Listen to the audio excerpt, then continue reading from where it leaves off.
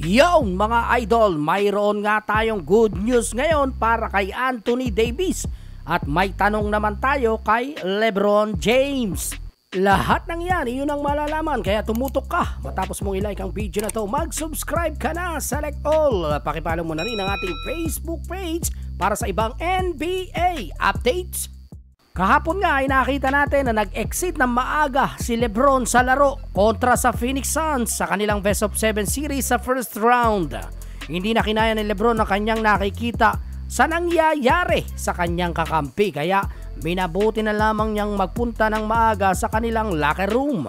Hindi rin ito kinaya ni Anthony Davis. Nakikita niya habang nakaupo kung papaanong tinalo ang kanyang koponan ngunit wala naman siyang magawa noon kung di ang manood. Pero mukhang magkakaroon ng pag-asa si Lebron kasama na ang kanyang mga kakampi dahil na rin sa napipintong pagbabalik ni Anthony Davis bukas sa Game 6. Nais din ni Davis na makalaro na ngunit ang kanyang mga doktor ang magpapasya kung bibigyan na siya ng go signal. Ngunit kung ang may katawan ang tatanungin, gustong gusto na niyang maglaro. Mga kabolto, kahit saan naman silipin, kailangan kailangan si Davis ng Lakers bukas dahil isang talo na lamang sila, sibak na sila sa playoffs.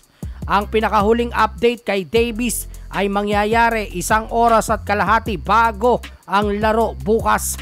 Pero sa ngayon alam na natin na pwedeng pwede nang maglaro si Davis.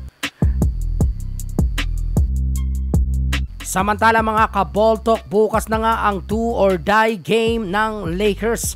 At umaasa ang karamihan na umabot pa ito sa Game 7. Ang tanong, anong klasing Lebron kaya ang makikita natin bukas? Magbabalik kaya ang dominant game ni Lebron? Makaka-score kaya siya ng 30 or 40 plus points? Anong klaseng laban kaya ang mangyayari at ano ang kalalabasan? Pero kahit anong kalabasan mga kaboltok ang Lakers ay nangangailangan ng malaking performance ni Lebron. At kung makakalaro nga si Davis ay mas maganda.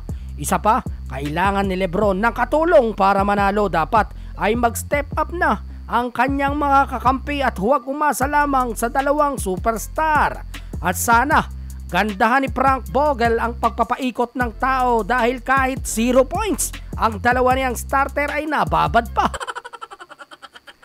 At huwag naman sana kapag natalo si Lebron at ang Lakers bukas, mabubuksan na naman ang usapan sa pagiging the GOAT at tatagilid ang bangka ni Lebron sa usapang ito. May iwan na naman nakangiti si Michael Jordan. Pero ang totoo kahit matalo si Lebron bukas, wala na naman siyang dapat patunayan dahil para sa ilan o sa karamihan lalo na ang mga generation ngayon, nananatili pa rin si Lebron na the GOAT. Yon para sa ating Road to Half Million Subscribers giveaway. Limang sapatos ang ating ibibigay. Brand new Adidas shoes. Sa sandaling makuha natin ang 500,000 subscribers, agad tayong bubunot sa limang lucky subscribers. Pero dapat ay ginawa ang apat na mechanics. Una, mag-subscribe lamang kung hindi ka pa nakasubscribe. Pakipindot mo ang notification bell. Manood palagi sa ating channel sa biglaang announcement ng mananalo at i-share ang video ito sa inyong Facebook wall at bisitahin mo na rin ang ating Facebook page at i-like na rin ito.